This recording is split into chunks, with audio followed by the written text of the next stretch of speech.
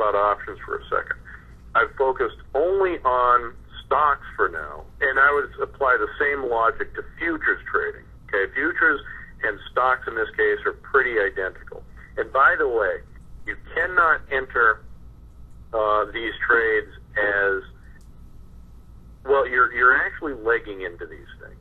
Matthew, can you generate? Can you right click on the chart, please, or on the actual price, the the, the line? Right click on that line, and can you go to uh, symbol XOP minus XOM? And is there a way of clicking the chart, uh, the trade tab? Uh, see where it says trade up there, up in the middle of the. If you click on, go back to symbol again, and then trade. Click on trade. Okay. And now that brings up the X, COP minus XOM. I can click on that ask price of that pair. Click on the price versus a dollar eighty-five. Okay, you should be able to just just left click on it. No, there we go. Just left click on it. See how it's showing? Uh, it's loading up a trade, buying COP, selling XOM. Okay, that's how you do it as one single blast all trade. You can get these get these orders lined up and then send it as one thing. But they are not executed as a package. Okay? It's possible that the Conoco Phillips could get filled and the Exxon Mobil not get filled. Okay, and vice versa. That's because the exchanges don't execute pairs trades. Okay. Um, most of the time, I I know my price, and I've been doing this for a long time, so I just do them as separate trades. I say, "Oop, there's my Conoco, there's my Exxon, buy sell," you know, and I I, I get it done in in five seconds. Um, especially using the shift click functionality that lets me just highlight the you know click on the the ask and go shift click and buy it, um, and or sell it. So it takes a lot of discipline to find and execute these trades stocks are easy to trade relative to options. In other words, I can get a stock trade done in, you know, 10 seconds or less, you know. Um, well, actually, they're actually executed in milliseconds. An option trade is a little bit tougher. Not so much because, well, yeah, if I submit an order to sell it at the bid price, you'll get a fill really quickly.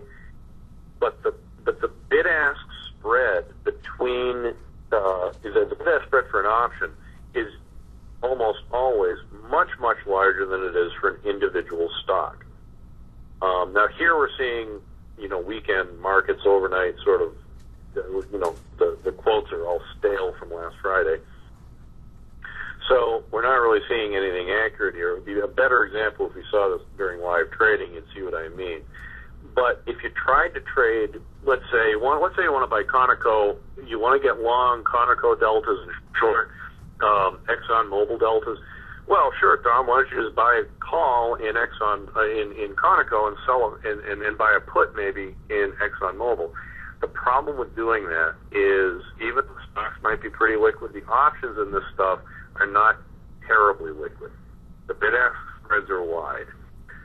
So unless you abandon everything we've taught you in all our other classes, which is to work off orders and get good fills, you know, to eventually, you know, give yourself a better edge in execution.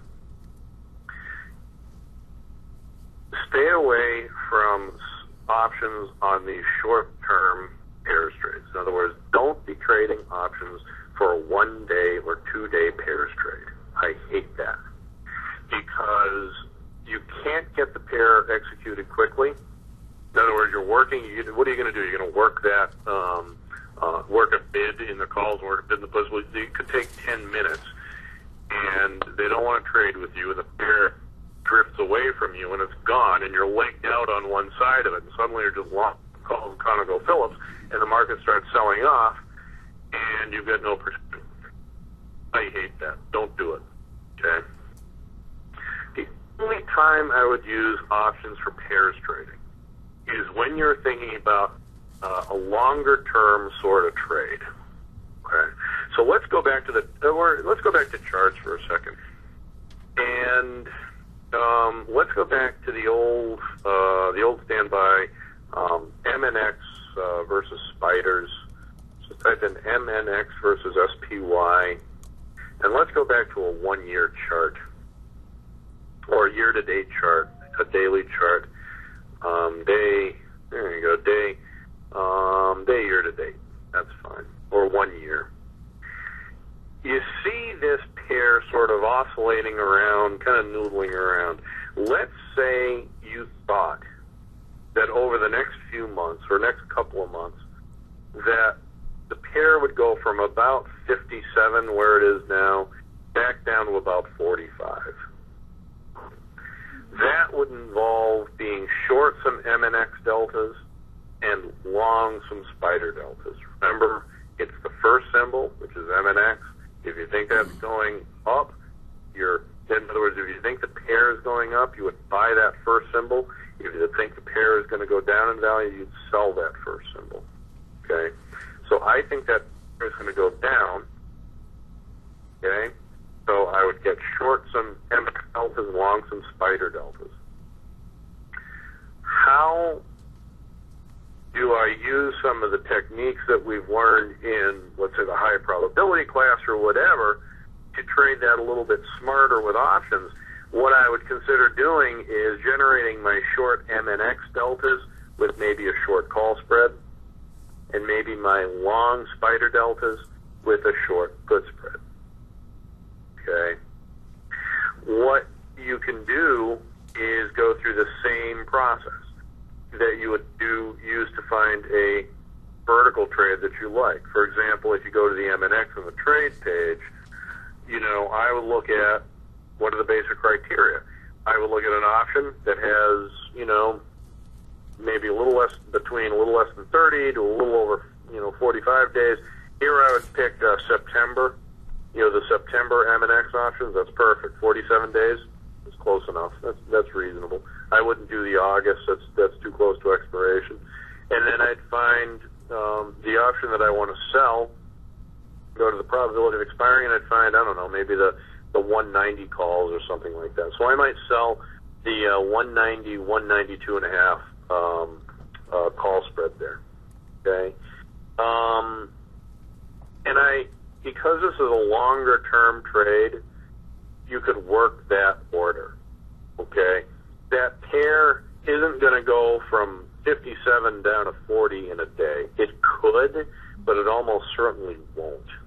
Okay? So you do have some time to work this order. And if you're filled on the MNX and not the spider, well, you've got a vertical on. It's still defined risk. It's still positive time decay. It's not going to kill you. You do a one lot, you know, there's there's there's only so much risk in that trade. So being legged on one half of a pairs trade using the verticals, it's a little less dramatic than it is being legged on one half of pairs trading you, stocks or futures. Okay? Stocks and futures, in my opinion, are better for shorter term pairs trades when you're more experienced and are very disciplined in your execution. And I think those, you know, if you, if you if you can do that, I think there's some good opportunities there. For longer term types of trades, I'm fine with options. I'm fine with the whole positive time decay defined risk approach with options.